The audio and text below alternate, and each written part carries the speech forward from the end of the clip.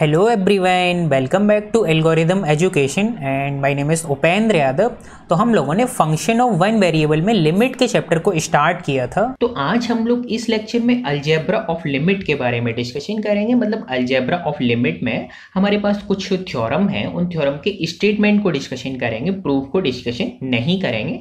क्योंकि उनका प्रूफ बहुत ही ईजी है तो आप इजीली भी उन प्रूफ को भी कर सकते हैं। फिर भी अगर मान लीजिए आपको प्रूफ चाहिए आप प्रूफ कराना चाहते हैं मुझसे तो फिर आप मुझे कमेंट सेक्शन में बता सकते हैं या फिर आप मुझे डायरेक्ट मैसेज करके भी बता सकते हैं, अगर आप प्रूफ चाहें तो ठीक है? तो इस लेक्चर में हम लोग कुछ थ्योरम के स्टेटमेंट को डिस्कशन करेंगे। तो चलिए शुरू करते हैं और देखते हैं कि कौन कौन सी थ्योरम है, उनका स्टेटमेंट क्या है। तो अल्जेब्रा ऑफ़ लिमिट में हमारे पास जो फ़र्स्ट थ्योरम है, वो ये है।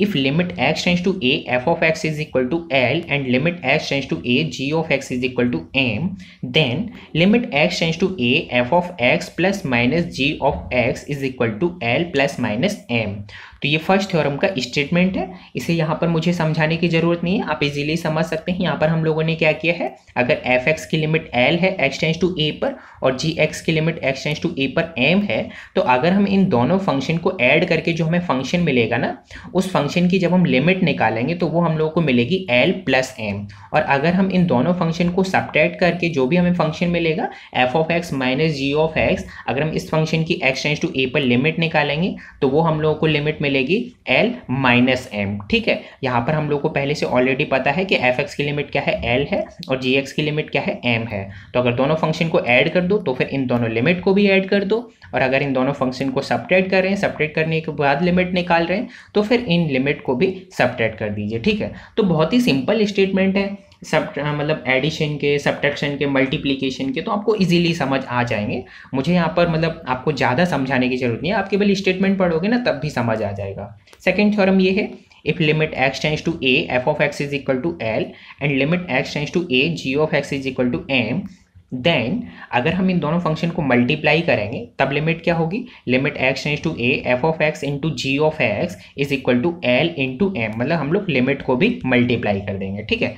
थर्ड थ्योरम ये है if limit x tends to a, f of x is equal to l and limit x tends to a, g of x is equal to m, यहाँ पर जो m है, वो नॉट इक्वल टू ज़ीरो है। क्योंकि अगर equal to zero हो जाएगा तो फिर इसकी लिमिट अनडिफाइन हो जाएगी। तो यहाँ पर जो m की जी एक्स की जो लिमिट मिलनी चाहिए, वो m not equal to zero मिलनी चाहिए। ठीक है? देन अगर हम इन दोनों फ़ंक्शन को डिवाइड करने पर लिमिट निकालें तो वो हम लोगों को क्या मिलेगी? Limit x tends to a f of x divided by g of x is equal to l divided by m मतलब हम लोग इन दोनों लिमिट को भी डिवाइड कर देंगे, ठीक है? एल को हम लोग एम से डिवाइड कर देंगे क्योंकि यहाँ पर हम लोग एफ़ एक्स को जी एक्स से डिवाइड कर रहे हैं। तो जी एक्स की लिमिट क्या है? एम है, इस वजह से हम लोग एल को एम से डिवाइड कर देंगे, ठीक है?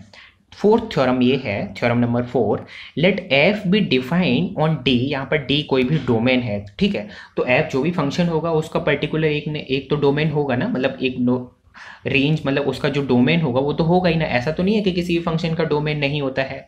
तो जो एफ़ है, वो अपने डोमेन में डिफाइन है, ठीक है? एंड लेट एफ़ एक्स क्या है? Greater than equal to zero है, ठीक है? For all x belongs to D then limit x change to a f of s exist then जो इस फ़ंक्शन की लिमिट होगी ना एक्स टेंस टू ए पर वो भी greater than equal to zero होगी। यहाँ पर मैंने देन बोल दिया था, यहाँ पर इफ़ होगा। मतलब कंडीशन है कि अगर limit x tends to a f of x अगर एग्जिस्ट कर रही है और f of x greater than equal to zero है तो इस फ़ंक्शन की एक्स टेंस टू ए पर जो लिमिट होगी, वो भी greater than equal to zero होगी। ठीक है? नेक्स्ट थ्योरम ये है theorem number five let f and g define on D and let f x is greater than g x हमारे पास दो फ़ंक्शन थे जो अपने डोमेन के अंदर डिफाइन है. और f x greater than equal to g x है मतलब एफ़ एक्स ग्रेटर देन है जी एक्स से for all x belongs to D then then क्या है? Limit x change to a f of x is greater than equal to limit x change to a g of x provided these limit exist अगर इन दोनों function की limit exist कर रही है और f x is greater than equal to g x है तो अगर हम इन दोनों फ़ंक्शन की लिमिट निकालेंगे तो एफ़ एक्स की जो लिमिट होगी, वो ग्रेटर देन होगी जी एक्स की लिमिट से ओके सेक्ट अब हम लोग थ्योरम नंबर सिक्स देखते हैं। थ्योरम नंबर सिक्स को हम लोग क्वीज प्रिंसिपल भी बोलते हैं, ठीक है? तो क्वीज प्रिंसिपल क्या होता है, हम लोग देखते हैं। वैसे आप इसको क्वीज थ्योरम करके हम लोगों ने सीक्वेंस के चैप्टर में भी पढ़ा था। आपको ध्यान है ना? तो आप वहाँ से एक बार उसको भी देख सकते हैं। बस यहाँ पर अब मैं फिर से आपको नहीं बताऊँगा, क्योंकि आपको ऑलरेडी ध्यान होगा। अगर नहीं ध्यान है तो फिर अब आप ट्राई कीजिए। हमेशा आपको मैं ही नहीं बताऊँगा, क्योंकि हमेशा आपको मैं बताऊँगा। फिर तो आप मेरे ऊपर डिपेंडेंट हो जाएँगे कि नहीं हाँ ठीक है, मैं बता दूँगा। नहीं, लेकिन अब आपको करना है। मुझे नहीं करना है, अब आपको करना है, ठीक है? तो हम लोग यहाँ पर देखते हैं, यहीं पर आते हैं। क्विज प्रिंसिपल क्या होता है? लिमिट के चैप्टर में, ठीक है? यहाँ पर हम लोग लिमिट का चैप्टर डिस्कशन कर रहे हैं सीक्वेंस करेंगे, ठीक है? तो क्विज प्रिंसिपल ये होता है let f g and h be define on D हमारे पास तीन फ़ंक्शन है एफ़ जी एंड एच जो अपने डोमेन के अंदर डिफाइन है, ठीक है? And let f x is less than g x is less than h x f x less than है जी एक्स से और जी एक्स लेस देन है एच एक्स से, ठीक है? फॉर ऑल एक्स सभी एक्स के लिए एंड जो एफ़ एक्स की लिमिट है एक्स टेंस टू ए पर, वही एच एक्स की लिमिट है एक्स टेंस टू ए पर. तो अगर एफ़ एक्स की और एच एक्स की लिमिट सेम है then limit x tends to a g x exist अगर इन दोनों फ़ंक्शन की लिमिट एग्जिस्ट कर रही है तो ये कंफर्म है कि जी एक्स की भी लिमिट एग्जिस्ट कर रही होगी। और जी एक्स की लिमिट एग्जिस्ट कर रही होगी तो क्या होगी? Limit x tends to a g of x is equal to limit x tends to a f of x is equal to limit x tends to a h of x और f of x और h h of x की दोनों की limit क्या है? Same है। तो जो भी हम लोगों को रियल नंबर मिल रहा होगा, वही क्या होगी? जी एक्स की लिमिट होगी एक्स टेंस टू ए पर। तो इसको हम लोग बोलते हैं क्विज प्रिंसिपल मतलब जहाँ पर इसकी मतलब जो लिमिट इन दोनों की होगी ना एफ़ एक्स की और एच एक्स की, वही लिमिट जी एक्स की होगी। देन इसके बाद नेक्स्ट थ्योरम है theorem number seven if limit x tends to a f of x is equal to l then limit x tends to a mod of f x is equal to mod of l मतलब हमने यहाँ पर क्या किया simply mod apply कर दिया है तो दोनों तरफ़ आप, अगर आप एफ़ एक्स के ऊपर मॉड अप्लाई करते हैं तो फिर आप लिमिट के ऊपर भी मॉड अप्लाई कर दीजिए। बट आपको ध्यान रखना है कि इसका कन्वर्स पार्ट ट्रू नहीं है, ठीक है? अगर किसी फ़ंक्शन की फ़ंक्शन के मॉड की लिमिट मॉड एल निकल रही है तो इसका मतलब ये बिल्कुल ज़रूरी नहीं है कि एफ़ की लिमिट भी क्या होगी? एल होगी। तो कन्वर्स पार्ट इसका ट्रू नहीं होगा, आप कोई भी रैंडमली एग्ज़ाम्पल लेकर देख सकते हैं, ठीक है?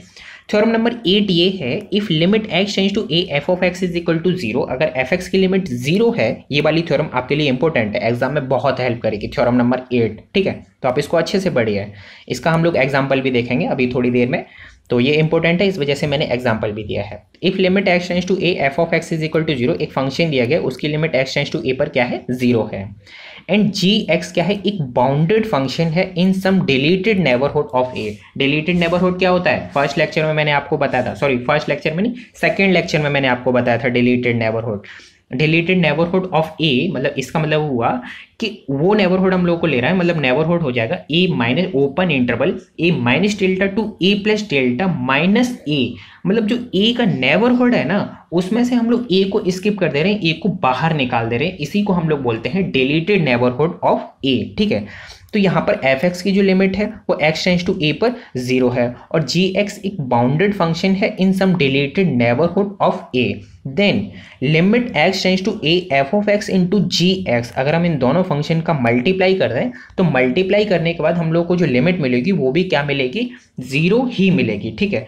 तो ये एक इंपॉर्टेंट थ्योरम है, आपको एग्ज़ाम में बहुत हेल्प करेगी इस इस थ्योरम की हेल्प से आप बहुत सारे क्वेश्चंस को इजीली अटेम्प्ट कर सकते हैं, ठीक है? वैसे आप निकालोगे तो आपको कहीं एल हॉस्पिटल यूज़ करना होगा, कहीं किसी थ्योरम का यूज़ करना होगा, हो सकता है बहुत कॉम्प्लिकेटेड हो जाए वो एग्ज़ाम्पल तो आप इस थ्योरम का यूज़ करके इजीली निकाल सकते हैं। एक एग्ज़ाम्पल देखते हैं, आपको ये वाली थ्योरम और अच्छे से क्लियर हो जाएगी। जैसे यहाँ पर हम लोगों को एग्ज़ाम्पल दिया गया है evaluate limit x tends to zero x into sine one by x तो हम लोगों को इस फ़ंक्शन की लिमिट निकालनी है। तो आप लोगों को ये ध्यान रखना ज़रूरी होना चाहिए कि हम लोग जो लिमिट यहाँ पर ये जो दी गई ना, वो एक्स टेंस टू ए पर जो हम लोग एफ़ एक्स ऐसा चूज़ करें कि एक्स टेंस टू ए पर उसकी लिमिट ज़ीरो आ जाए। तो यहाँ पर हम लोगों को इस फ़ंक्शन की लिमिट पूछी गई एक्स टेंस टू ज़ीरो पर कि इस फ़ंक्शन की लिमिट क्या होगी। तो ठीक है, हम लोग लास्ट वाली थ्योरम का यूज़ करते हैं और इसकी लिमिट निकालते हैं।